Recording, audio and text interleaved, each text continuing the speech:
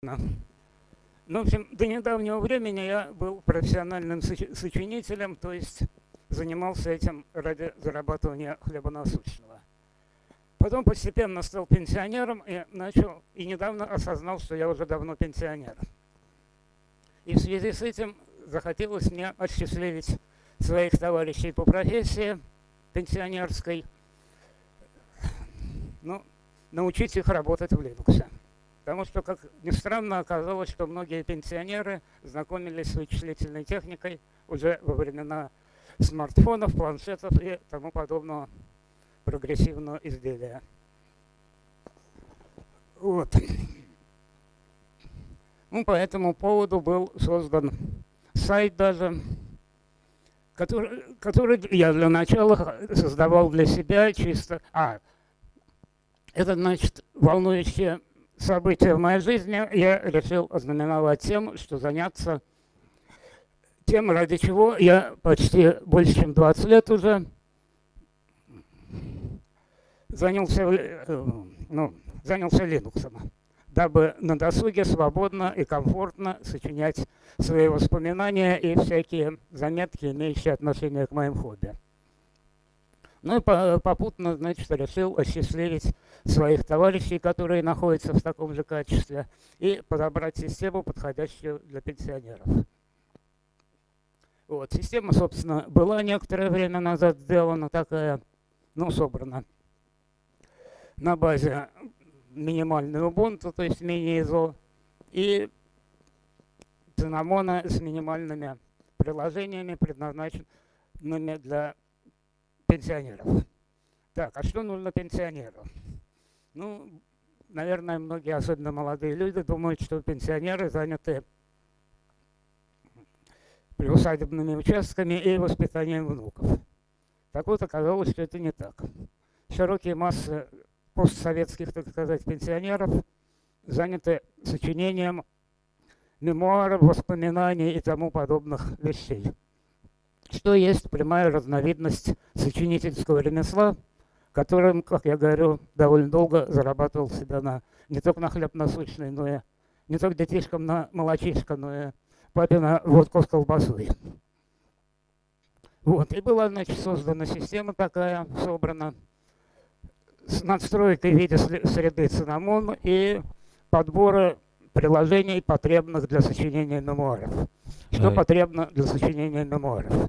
Опять-таки, а люди, которые никогда не занимались таким вот сочинением нарративных текстов, длинных особенно, считают, что для этого существует текст процессора. Ну так вот, это совершенно не так. Более неудобного инструмента, чем текстовые процессоры, для этой цели нету. Для этой цели подходят, как ни странно, развитые редакторы, которые используют программисты, например, Потому что задача, так сказать, требования к редактору одни и те же примерно. То есть возможность работы с проектами, желательно возможность использования макросов для,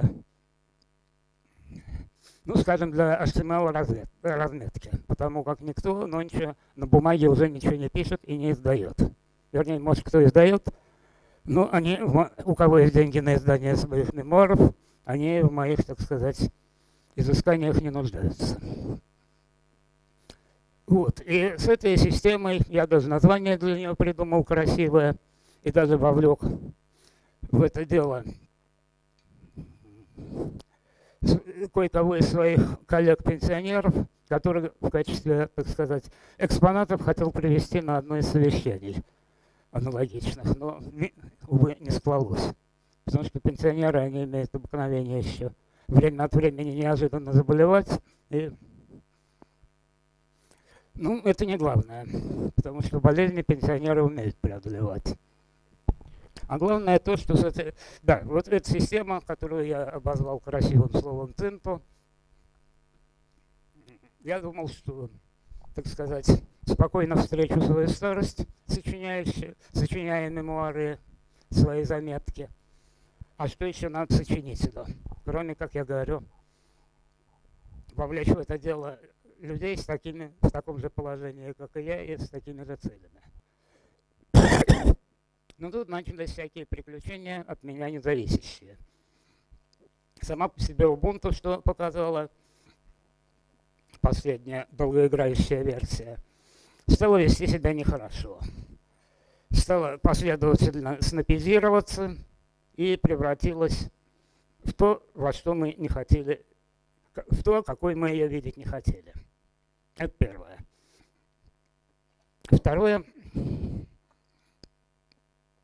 GTK-приложения, на которых мы, ну, на которых были, была основана в сущности система, начали понемногу, в них начала внедряться, вползать четвертая версия, про которую ее разработчики сами откровенно заявили, что она не предназначена для работы нигде, кроме как в гноме.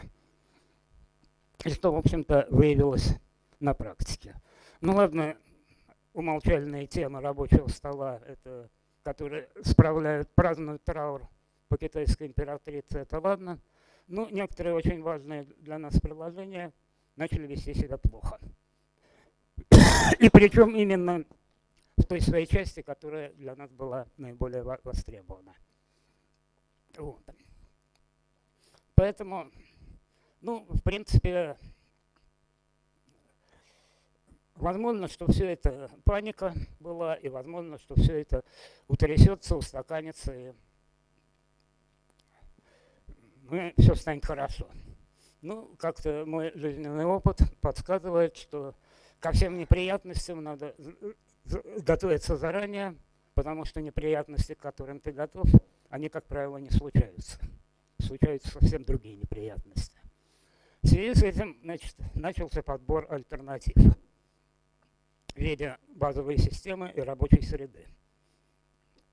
Ну, для начала, естественно, применитель нашего, так сказать, направления, он не работает ни с операционной системой, ни с дистрибутивом, он работает в первую очередь со средой. Со средой все было просто. Да, а, ну, значит, ГТК, как я говорил, начала вести себя неизвестно, как поведет в дальнейшем, значит, надо было исключить ГТК среды. Если исключить ГТК среды, остается только КДЕ. В КДЕ до, до, от до первой до третьей версии до конца ее жизненного цикла я работал. Сохранил об этом хорошие воспоминания. И так время от времени, поглядывая на пятую версию, эти воспоминания как бы актуализировал. И поэтому, я говорю, ничего сложного и ничего неприятного тут не было. А вот дистрибутивом было сложнее. Потому что что требовалось от дистрибутива? Во-первых, быстрота развертывания. Пенсионеры, они люди такие, что у них мало времени. Не потому я говорю, что они заняты там внуками, дачами, а его у них просто мало. Вот. Поэтому требовалась быстрота развертывания, компактность. Почему требовалась компактность? Чтобы не устрашить потенциального нашего пенсионера обилием приложений. Например, я помню, когда я ставил впервые в своей жизни слакварь, меня, человека довольно закаленного в жизни, она просто устрашила. И особенно меня умилили комментарии к программам, к пакетам. Это замечательная программа для электронной почты. А это еще более лучшая программа для электронной почты. Их штук 5. Ну, поэтому, значит, я говорю компактность, то есть, грубо говоря, тот самый принцип одна задача, одно приложение. И как бы учитывалась обновляемость системы, чтобы она была более-менее актуальной. Но в голову угла это не ставилось. И еще момент, поскольку машины ожидались очень разные, грубо говоря, от достаточно высоких, как они там называются, да? Ну, в общем, короче, самая высокая система у нас это в подведомстве это Haswell Refresh 4 ГГц тактовая частота, 16 гигабайт памяти и тому подобное. А самая хилая система – это такая размером с флешку электро... э, телевизионная приставка, которая втыкается в USB-порт и превращает телевизор почти в компьютер. За всеми промежуточными ступенями, типа ин, ин, этих самых атомов и прочих недобуков. Соответственно, значит, некоторое внимание было уделено и так называемой ресурсоемкости. Хотя на самом деле это понятие очень условное и никаким э, объективным измерениям в наших условиях, разумеется, не поддается. Да, еще, значит, от системы требовалось, грубо говоря, чтобы я ее более-менее знал. Потому что я тоже, как уже сказал, пенсионер. Алексей, две минуты осталось. Да? Ну, в общем, подвожу итог. После рассмотрения и обмена мнениями было принято три системы. MX Linux KDE, э, непроизносимое название на базе бывшего Антергоса, которое они сами сократили до EOS, и Nutix. С первой все понятно, это очень хороший беспроблемный дистрибутив. А Два последних, они, в общем-то, даже привычному человеку могут показаться непривычными. И тут вспоминаем, что у большинства пенсионеров все-таки есть внуки информационно-половозрелого возраста, которые иногда не против прийти на помощь своим пращурам.